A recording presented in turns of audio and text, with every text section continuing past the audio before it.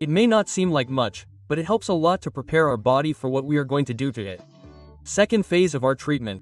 Self-treatment for fluid retention. The lymphatic system, lymphatic drainage. It is extremely difficult to perform lymphatic drainage as a therapist and to do it on yourself as well. But I believe that with these little tips that I am going to give you, you will be able to do it.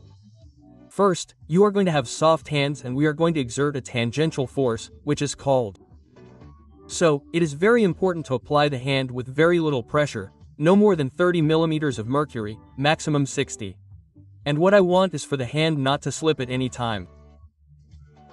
I want the hand to fall and make that dynamic tension movement on the skin without breaking it. If we support and slide, it is no good. The lymphatic system is very superficial and we have to manage to stimulate only it and not the circulation.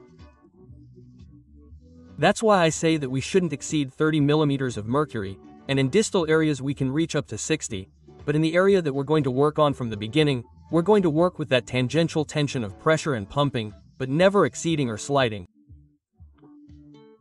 No creams will be used and sometimes you can use a little talcum powder so that the skin, okay, doesn't slide, it simply adheres well and you can perform that lymphatic drainage. Once we understand the lymphatic drainage technique above, we're going to start draining the inguinal lymph nodes, okay?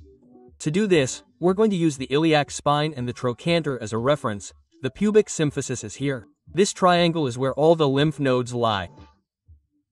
Look, I'm going to do it with my hand, I'll let it drop, I'll apply a little pressure and we're simply going to do a gentle and slow pumping. Okay? We're going to do this technique for 2 minutes, Isa. We're going to adapt both hands.